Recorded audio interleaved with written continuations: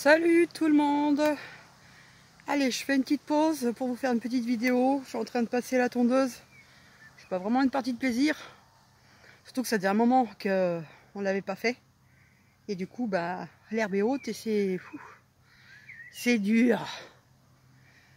Donc, euh, ah j'ai remarqué, c'est une nouvelle, euh, nouvelle chose mise en place à mon avis par YouTube, dans vos commentaires, je, ne voyais plus vos pseudos.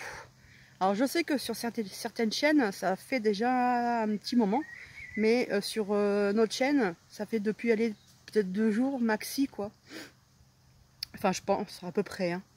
Et euh, du coup, bah, difficile de, de, savoir qui est qui en fait. Bon des fois je sais parce que votre identifiant, votre compte YouTube ressemble fortement à votre pseudo, donc là il n'y a pas de souci. Mais pour certaines personnes, eh ben, je sais pas. Alors, ça peut être des abonnés que je connais, mais ou pas.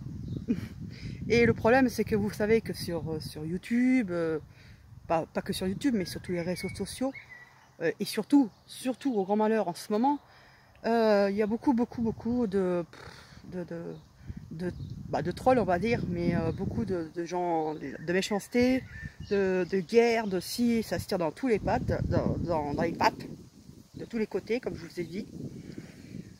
Euh, et donc, euh, moi je vous propose, alors je sais que ça va être chiant, ça va être chiant pour vous.